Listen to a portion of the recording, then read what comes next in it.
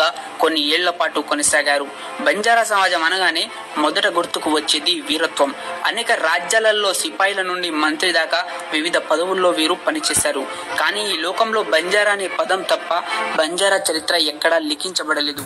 ఒక జాతి భారతదేశంలోనే కాకుండా ప్రపంచవ్యాప్తంగా విస్తరించి ఉన్న చరిత్ర పుటల్లో శూన్యంగా మిగిలిపోవడం చాలా బాధాకరం. నేను కొన్ని పుస్తకాలు ఆర్టికల్స్ చదివినప్పుడు కొంతమంది బంజర పూర్వీకులతో మేధావులతో మాట్లాడినప్పుడు కొంత రీసెర్చ్ చేసినప్పుడు నాకు అర్థమైంది. మనం వింటున్న చరిత్రలో అనేక తప్పులున్నాయని. వక్రీకరించబడ్డ చరిత్రనే నిజమనుకొని వారిలోని గొప్పతనాన్ని వారే హీనంగా చూస్తున్నారు.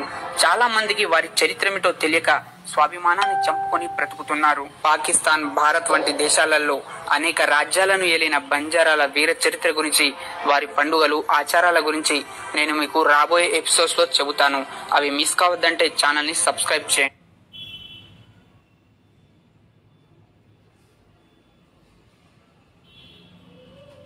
నరేల బారకంబ లఖీషా బంజారా భూముల్లోనే ఉన్నాయి. అలాగే ఆయన దగ్గర రెండు లక్షల ఇరవై వేల ఆవులు గుర్రాలు ఒంటెలు ఏనుగులతో పాటు ఇరవై వేల ఎడ్ల బండ్లు ఉండేవి.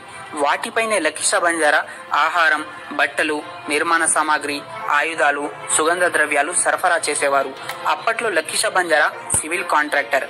భారతదేశంలో నిర్మించిన అనేక పురాతన కట్టడాలకు కావాల్సిన రాళ్ళు ఇసుక నిర్మాణ సామాగ్రి సరఫరా చేసేవారు. ప్రస్తుతం పాకిస్తాన్లో ఉన్న లాహోర్ ఫోర్ట్ని అలాగే ఇండియాలో ఉన్న రెడ్ ఫోర్ట్ని నిర్మించింది కూడా లఖీషా బంజారానే.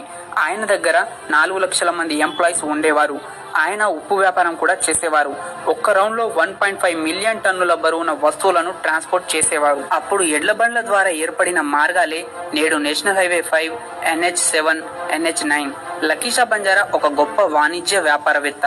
పదహారవ శతాబ్దంలోనే ఆయన ఏసియాలోనే one of the richest person ఇది మీకు నమ్మశక్యం కాకపోవచ్చు కానీ ఇదే ఫ్యాక్ట్ ఆయనంత ధనవంతుడైనప్పటికీ చాలా నీతిగా బ్రతికారు.